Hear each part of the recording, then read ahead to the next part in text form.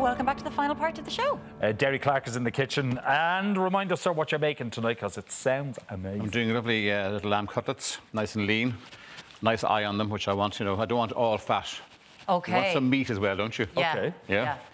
And, uh, well, it is summer, let's be honest. It is officially. According to the calendar, yes. Yeah. But So- according to the elements, no. No. So baby gem lettuce, actually, it's a great little lettuce to use and even for salad. It's lovely and crispy, I think, you know. Yeah. Mm-hmm. Mhm. And small. It's why it, sometimes you buy too much salad. What happens? Next day, it's gone. Yep. Yeah. So I think that's a really good buy that is anyway, even for summertime. And it grills really well too. You can cook it on a pan or on a barbecue. really? Okay. Cut it in half and straight on. Oh, lovely. Yeah, really nice. Nice Okay. to flour it nicely. Because you're so I'm gonna get we the lamb all on, waste the guys. lettuce the Um, bottom of the fridge. Yeah, so I'm gonna put yeah. a bit of oil in there, not that much, but anyway, it doesn't matter too much. And some pepper and salt. And you see I have a little uh, kitchen paper under the lamb there. I had some on top as well. It's a great idea to get the moisture out of the lamb. Okay. All right. Okay. You'll find it much nicer. It'll just cook better. I think it does. It Yeah. does really, yeah. There's less moisture in it. We're definitely going to trust you on that one. That's what I want to hear. Sizzle, sizzle. And then it goes. I must say, I love lamb. Yeah. It's one of those things. It's lovely and lovely and neat, isn't it? It's a portion and a half there. I only had five. It should be six, six or four, yeah? Derry got a bit hungry before the show went to air and decided to treat himself to a little snack. Or it's all from me. Yeah? All right, so they're sizzling away. They are. I know something, eh, that really works well. Lamb like that works well in a barbecue. Because if it's a prime cut, Yes. it's quick. Yeah. You know, as long two or you've got three a minutes good each brolly side, to it's keep ready. the rain off the barbecue at the moment, you're fine. Yeah, but we're actually using the barbecue a good bit at the moment because it's just the Even in the rain? Yeah. Even in the Outside rain. With the brolly. Uh, so would you, if you have it on the barbecue, you just don't put it directly over the flame? Would you put it to the side? Or do you care? Um, you know something, barbecues, there is a bit of a, an act to barbecues, you know. You're using direct and indirect heat. Yeah. Okay, so direct heat is something fast. What I always do is kind of seal it on the direct heat. Stand Okay. over it, turn it over, and then move it Then to move. indirect heat, where there's a cooler bar- part of the barbecue, and let it rest there, Yeah. you know. Okay. All right. Okay, so what have you done now? So have a little streaky smoked bacon. They're Actually, just rashers I bought today and just dice them up, yeah? Yeah. I put no oil in that pan because there's enough fat in the bacon. And when I'm doing this, I'm not going to put any um, salt in here because the bacon is quite salty. Okay. A little bit higher here. That lamb is about three minutes each side, max. Yeah. All right. And let it rest for about two or three minutes before you eat it. Smells good, doesn't it? Smells amazing. I can see why with the bacon and the lamb, you're like, go on, lads, we won't do the potatoes. We'll do a salad. We There's no do a need for that. No, add a pot of spuds with loads of butter, yeah? oh, loads the of butter. Cara. And then, then we get the Irish dancers in just to finish off the whole thing. Yeah, I'm not hit too much into, into the Begara now, I've got to say to you. Yeah. Anyway, so. So some diced onion, okay? A piece of garlic. I have a garlic clove here. I'm just going to squash it in the back of the knife. And Chop it up. win too. Mind your fingers. And you see the lamb, I've just put it on the pan and haven't even turned it yet. Yeah. Mm-hmm. Don't even shake the pan. You do see some chefs doing this, you know. Yeah. No, you don't want to do that. Doesn't work. That's what you've always said about steak as well and lamb. Just leave it alone. Yeah. Let, let your pan and the heat do the work. It's a little bit high, so I'm going to bring it down to about medium, okay? Okay. Now, So the onion, the garlic, the bacon, that's not going to take very long. It's a fast dish. It's really fast.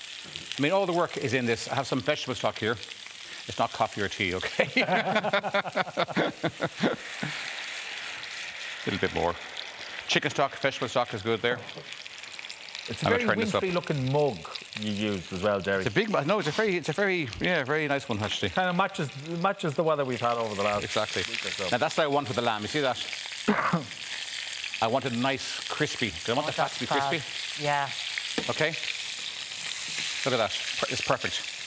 Okay, I can bring it down a tiny bit. Mm-hmm. Now I bought some peas, a little petit pois, Right. baby peas. Oh, very nice. frozen. And something about uh, vegetables is most. I think it's the best vegetable that's frozen that you can Okay. freeze. Peas are great. They're very nice and sweet. Yeah.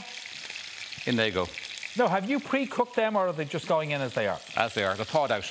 Okay. All right. And they'll cook, Martin. I'll give it about a minute or two, yeah? Okay. And they'll cook. And that's all reducing down. And make, making sure I use everything here. I have some um, yogurt or creme fraiche, just to finish the dish off. I'll put a couple of spoonfuls in the bowl here. Chopped um, mint Yeah. or parsley or coriander. I Mix would have up. to be mint if you're having lamb.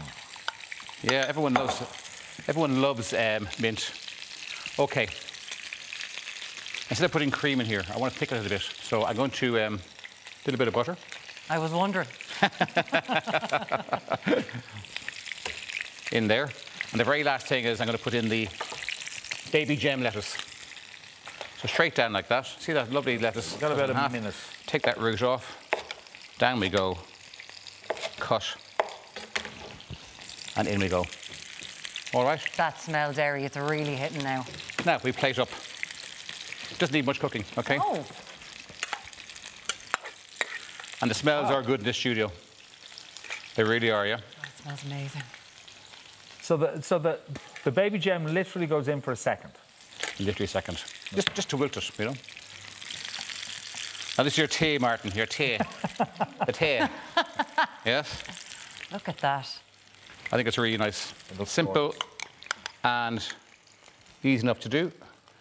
Now, here we have it. So, seared lamb cutlets with a nice lettuce, bacon, and pea Delicious. with some yogurt and mint. And if you want to cook along with the Derry, you can check all this on YouTube. Just look for um, VMTV up there with the six eats, and you can cook along with the Derry as you do it when you have all the ingredients. Derry Thank Clarke, everybody. Yes. Not delicious.